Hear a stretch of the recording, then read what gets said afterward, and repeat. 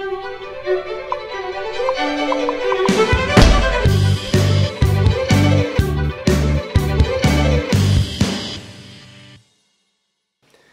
everybody and welcome back to the Asphalt University. In today's episode, episode number five, we are going to be showing you guys the different types of rollers and their uses uh, on a project site.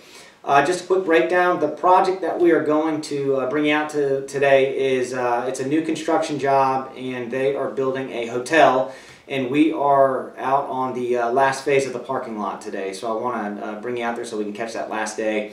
On this particular project, we're actually running three different rollers.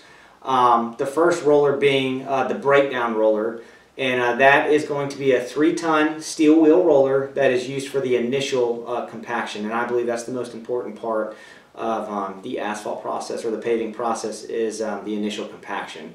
Uh, the second roller you'll see out there is, is an intermediate roller, and uh, on this job that's going to be a pneumatic roller uh, also known as a rubber tire roller. And this roller is a little bit different than, say, the steel wheel roller um, because it's actually got nine tires on it.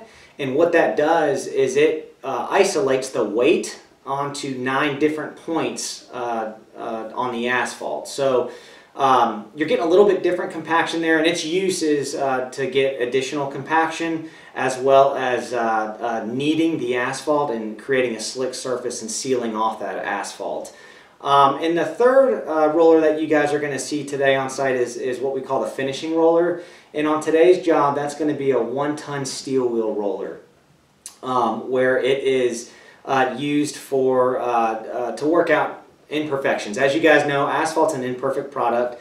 Um, so as you're paving, this, this finishing roller is used to work out any imperfections in the asphalt that you might see visually.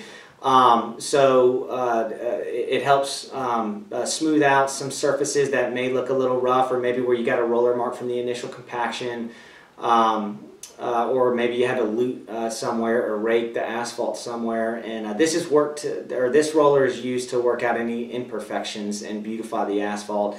And it is also used it's a, in tighter spaces. It's a much smaller roller than the other two.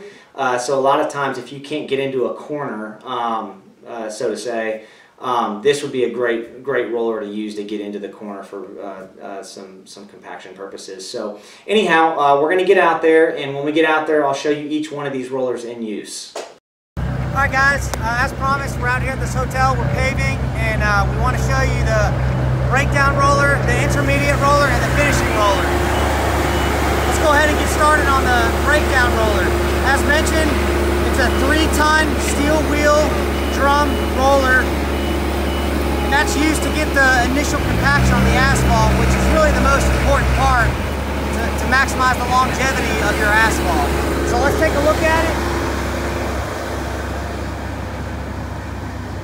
You can see the weight is distributed on two steel wheel drums and as he's making his way back you may hear him cut the vibrating the vibrator on and what that does that also allows for additional compaction um, or maximum compaction. So you may hear sometimes specs ask for 95 or 97% compaction rates.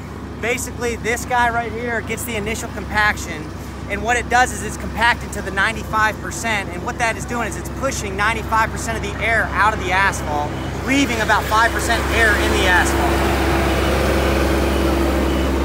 The reason why you want a little bit of air in the asphalt is for the flexibility. Asphalt in nature is flexible and you want it to you want it to remain flexible for a long-lasting parking lot. So that about does it for the uh, three-ton roller, and let's move on to the uh, intermediate roller, which is going to be the pneumatic roller. Come on, Michael, let's go ahead. All right, guys, here we are with the intermediate roller, and as mentioned earlier, this is our pneumatic roller. It's also known as a rubber tire roller. And as you can see, it's got nine tires, and that just picks up additional compaction. Uh, how it gets additional compaction is it, it isolates the weight at onto nine separate points, and those wheels also oscillate. So as those wheels oscillate, it's also kneading in the asphalt, really sealing off that asphalt. So Michael, come on, let's go take a look at this thing.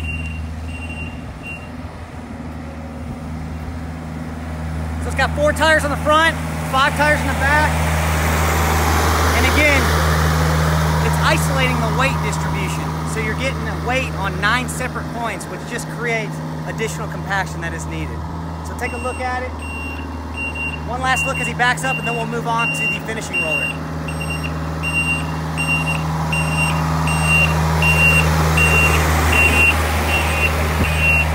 Okay guys, and lastly we want to show you the finishing roller. As mentioned earlier, it's a one-ton steel wheel roller that's used to work out the imperfections in the asphalt. So take a look. Niles, hit that, hit that vibrator. And as you guys can tell, or hear, there's a, a, you can hear it vibrating. And what that does is sometimes you need the steel uh, uh, drums to vibrate a little to work out an imperfection.